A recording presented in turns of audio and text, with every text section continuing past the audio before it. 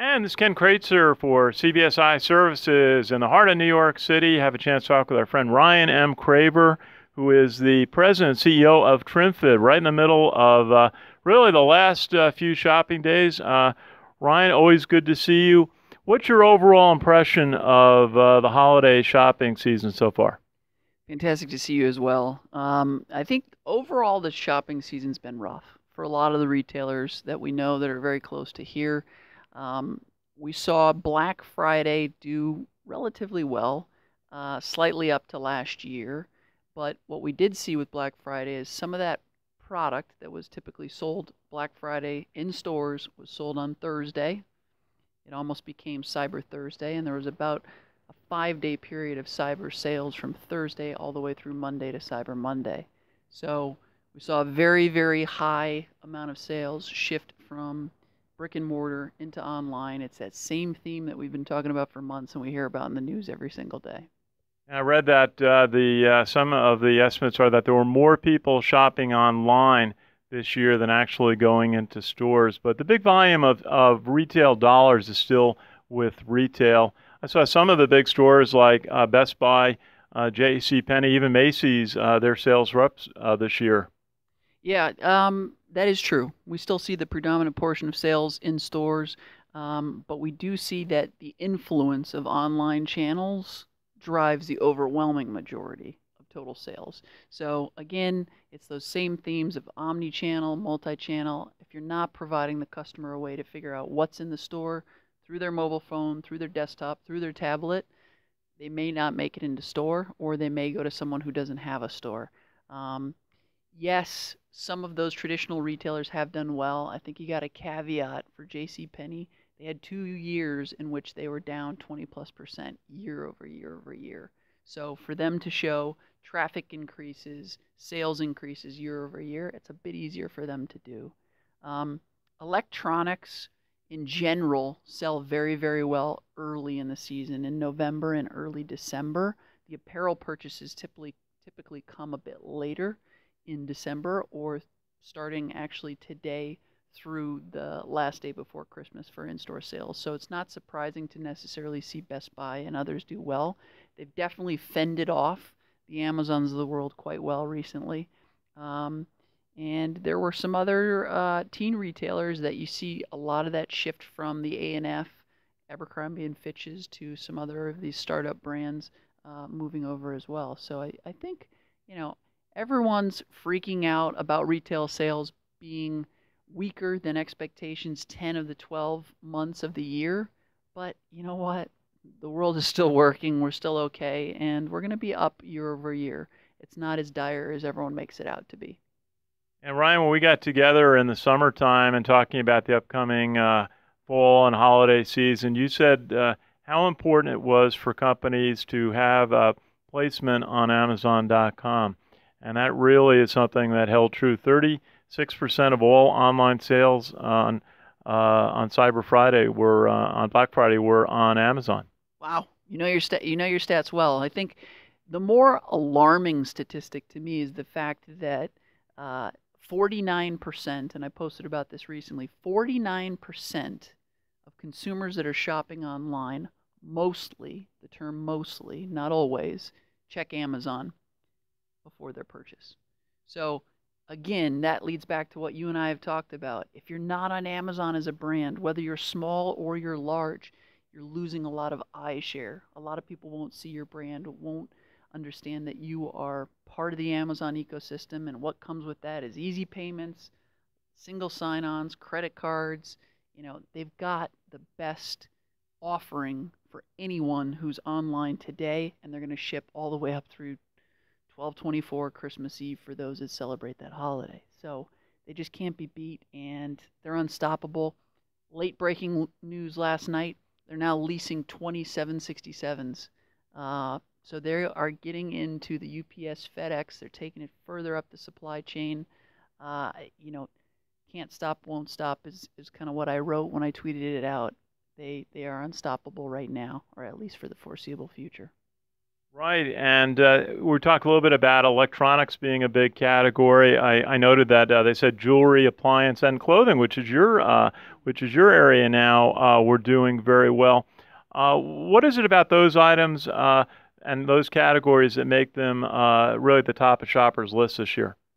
Yeah, so what we've seen the first eight nine months of the year is the big ticket purchases played a major role home furniture goods, uh, autos. Autos, we are in a uh, record year historically. I think we've sold plus 18 million autos this year. It's going to be a new record. So there was a lot of big ticket purchases the first nine, 10 months of the year. We've started to see that dip a bit lately in the last two sales reports. I don't know if it's a trend or not. Um, and, you know, the Fed's coming out with an increase in rates. So we'll see if that impacts any home equity lines and, and that spending. Um, I think largely for apparel, it has not been a cold Christmas. As we know, it has not been a cold holidays. Uh, you know, I like I used to make fun of those that made fun of the weather, but this one's real. This time it's real. I mean, it's going to be 45 degrees here in New York City on Saturday. Completely sunny, you know, super Saturday and the day up to Christmas Eve account for about 15% of retail sales for brick and mortar retailers. That's a huge, huge number. And if it's not cold out, hopefully they've got product on the floor that uh, can potentially replace those cold products. Um, you know, we are three quarters of the way through December now. Stores, big box stores, typically start to pull the fall goods off the floor late January, uh, early February, so there's not a lot of time left to sell. Um, and I think the impact to that is the department stores are struggling. They're going to have a lot of product. That product will then feed the outlet stores like the TJ Maxx's, the the Ross stores, and uh, you know they've been down on luck lately, but I think they're going to have a lot of inventory to sell in the future. You were mentioning about Amazon. Uh, I actually tested it. I bought. Uh, I made a purchase on Saturday of Thanksgiving weekend. Four little items, um, kind of electronics, gadgets, and one book.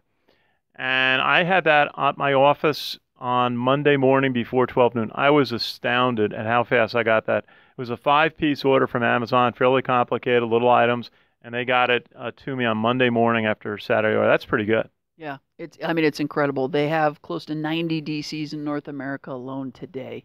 So obviously, their um, ability to place that inventory closer to the customer where that demand is, you know, across the river, uh, you know, they've got at least six DCs within uh, 25 square miles where we are right now. Um, it's it's incredible, and they they haven't stopped with a couple of days delivery. Prime Now is a new app that they're exploding throughout the U.S. where they're offering one-hour deliveries.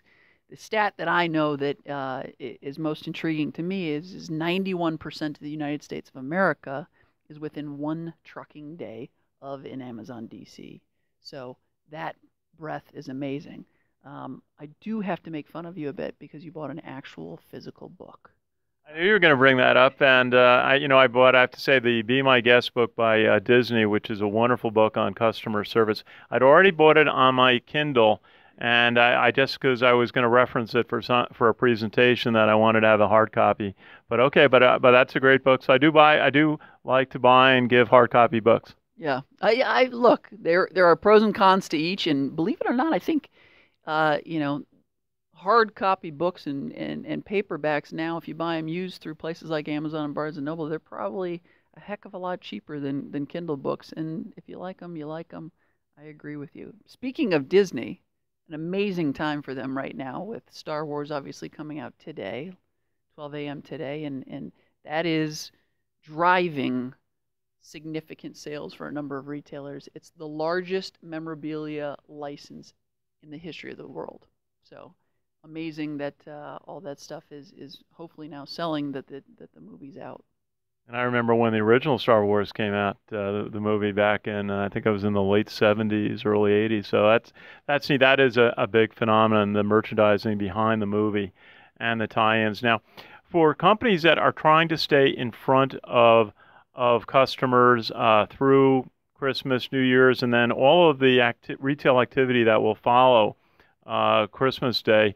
Uh, how? What are the best ways for uh, retailers and advertisers to stay in touch with customers? Is email the best way to do it, or do they want to try to be uh, on a, a customer's Facebook pages and other social media? Yeah, I think we've briefly touched on this before. I think uh, I think we're uh, in a place right now where email we may kill, meaning that we as retailers historically are used to 10% conversion rates and 25% click rates and 60% open rates. Those days are gone, and those days are gone for a couple reasons. The first reason in my mind is, is we're sending way too much. I mean, aren't you sick of these emails by now? I'm getting two or two a day from some retailers, and uh, I think it's nice to have presence, have like once a week, uh, but more than that is overkill. Yeah, yeah. So I think one, we're way too loud. The second thing is, is if you look at the top inboxes in the world, places like Yahoo and Google with Gmail and Outlook slash Hotmail, those those outlets are now moving any marketing emails into the promotions tab. So automatically they're filtering filtering them for you. And if they filter them for you, you're less likely to read them. And then they've also got the unsubscribe buttons, which is the number three reason. The number the, the ability to unsubscribe today, although it may not seem like they're listening, is a lot easier than it was in the, in the past. So it's definitely not email in my in my mind. Um, I think the big players that are doing it effectively are using location, right? If you remember back to this little tool that we're all carrying, not all of us, but close to 80% of the world by 2020 will have a smartphone driving location, especially when there's a much higher purchase intent, uh, this this tool to drive location, throw you a coupon when you're in close proximity to a Macy's is highly highly effective relative to email. When I read just uh, in India, one billion people will have their smartphones very soon or mobile phones. Now we have the holiday coming up, and then a lot of people are getting gift cards. And that's going to drive a lot of activity after the holidays. What's the best way for retailers to uh, uh, uh, the usage of uh, gift cards from uh, from customers. Yeah, it, it's a fantastic point. Uh, gift cards continue to grow year over year over year, and we if we start to look at our inventory levels pre and post Christmas, what's ended up happening is the sales cycle has extended well beyond Christmas because just as you get your gift card, you're likely to go spend it. I need to make sure, as a retailer or a wholesale brand runner, that I have product in those stores because there is this big tail and then it pops right after Christmas when people start to go into stores. It's very interesting to me in that the UK, Canada, several other countries, their biggest shopping day is Boxing Day versus ours is typically Black Friday, Cyber Monday. Um, and I think a lot of that spend or that uh, group of spend has moved away from pre Christmas, the few weeks pre Christmas, to post Christmas because it's so much gift card giving. Um, and it's also brought about marketplaces that can sell gift cards. Raise is a massive app that sells. Gift is a massive app that sells uh, gift cards. They actually just announced Delta Airlines gift cards and Nordstrom Airlines this week. They take Bitcoin. Um, and of course, eBay. They sell a ton of gift cards. So it's a huge, huge used market as well. You mentioned Bitcoin. Just have to have you uh, just uh, mention how is that working? Uh, that's sort of a new phenomenon for a lot of people. Where do you see it being useful? So, I have been a big fan of Bitcoin for several years. In fact, in my previous role at Hudson's Bay Company, I wanted to make sure that we were the first retailer to take Bitcoin. I have, um, I think the results thus far have been underwhelming. I don't think we've seen enough adoption yet by merchants. I think if you look at the actual stats, though, the number of transactions that run on Bitcoin is definitely in a dramatic rise. The price is now back above, I think, 464 as of this morning, which is another one year high.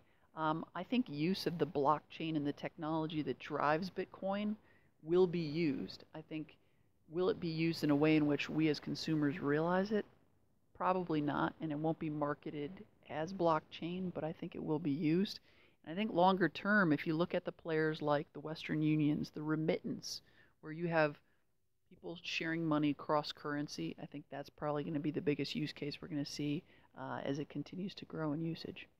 And Ryan M. Craver is the president and CEO of TrimFit. Now, you got to tell us a little bit about your company and some of the some of the nice items that you have and where people can find them. Fantastic. Uh, thanks. Thanks for the little plug. Uh, so I, I am part of a group called Lamour Group. We're based out of Montreal, and we've got a, a couple of different brands that we either own or license. TrimFit is one of the brands. The brand that we're in here now for is Hot Toddies. So it's sold in several retailers across the U.S., Kohl's, Bloomingdale's, and others. Uh, we've got a couple other brands named uh, Terramar is one. We do Joe Fresh. Uh, and we've also got New Balance. So for the majority of those brands, we're in the big box retailers and the e-tailers that you mentioned, like Amazon, um, Macy's, Costco Canada, Costco USA, etc. That's great. I want to mention Ryan M. Craver has a wonderful email uh, newsletter that he issues first thing every money every Monday morning. The Tech Infused Retailer. We'll have uh, how you can get that on our on our caption, and uh, just very informative uh, material that Ryan sends out every Monday morning first thing and uh, that's terrific. How long does that take you to put together? Ah, uh, good question. You know, my my uh, fiance could probably tell you a bit better than I could. Um, but what I do is every Sunday night is I take everything that I've starred over the course of the week, and I throw it in, and I try and add a bit of commentary, but I want to make sure that there's not much commentary because I know that people just really want access to the information uh, in a digestible fashion as opposed to my opinion. So uh, probably, I don't know, two, three hours every Sunday night. Well, it's very well put together, very informative, some wonderful charts and uh, and notes about what's happening in retail, both online and in uh, in the store. So, uh, Ryan, uh, our best wishes to you and all and your family for uh, the holidays, and we'll look forward to catching up with you very soon and get a, do another wrap up on how the holiday season went and what's happening. Look forward to seeing in 2016. Fantastic. Let's uh, let's do this uh, in a couple months' time. But thank you again for your time and happy holidays to you as well. Thank you, and our uh, best wishes to everyone uh, watching, and uh, uh, our best wishes for the holidays and for the start of the new year. For CBSI Services today in New York City, in the heart of the retail shopping district, this is Ken Kraetzer for CBSI Services.